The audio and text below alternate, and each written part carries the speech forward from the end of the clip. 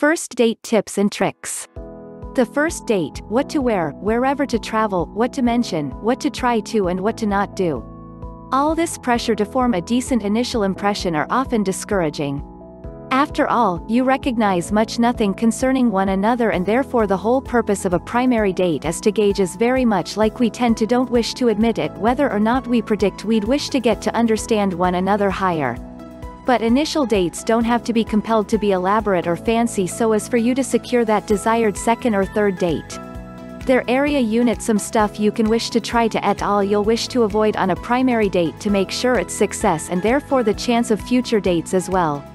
When it involves chemical analysis, it seems everyone thinks they're the expert to turn to for advice. Whether it's your friends or your desirable aunts WHO perpetually inquire concerning your sexual practice, everyone has a dating tip for you. But we all know what to do on a date, don't we? Always have a smile, listen attentively, be yourself, have fun, and the list goes on. So, if everybody is aware of the guidelines for made chemical analysis, then why do we go through so much trouble and anxiety about first dates? Maybe it's as a result of there's no set normal of rules any longer. Once upon a time, chivalry was the norm. Nowadays, some girls get displeased once the door is control open or their seat is force out for them. Consequently, several single individuals area unit at a loss once it involves knowing what to try to and wants to try to it. And whereas there might not be an final list of should and may nots, there area unit still some common chemical analysis tips that everybody will agree on. It is important to be attentive to your date and this includes listening to what they are saying and maybe throwing in a question or two and maintaining eye contact when in a conversation. There is nothing worse than meeting your date and not knowing what you're going to do.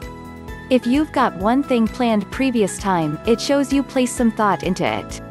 If you go out for dinner, why not split the bill? Sure, you were invited out and your date is predicted to pay however supply anyway. And if your date picks up the tab, offer to pay the next time. By all means, call your date if you say you're going to call. If you didn't have a decent time then be courteous, and don't promise to get in touch when you really have no intention of doing so. Be polite, turn off your cell phone and stop the wandering eyes. There is nothing ruder than taking an informal decision from a devotee or ogling the server at following table whereas your date is making an attempt to carry your attention. While talking about past relationships almost always comes up in conversation, don't start telling your date every last detail, they are not your therapist. And believe me, chivalry is not dead, women do appreciate it, just don't overdo it boys. In this world of women's independence, many are taking it upon themselves to ask the man out. And why not? It shows confidence and could be a stimulant for several men. Keep in mind that confidence is horny, vanity could be a put off. Many people can have a unique answer once you raise them their opinion on whether or not or not a kiss is suitable on the primary date. Maybe all you wish to try to is hold hands or snuggle and save the kiss for one more date. It all depends on the chemistry between you and whether or not or not it feels right. And if it does, then go for it. Of course, if the date isn't going well, be happy to finish the date early with everyone's favorite backup emergency call from a disciple.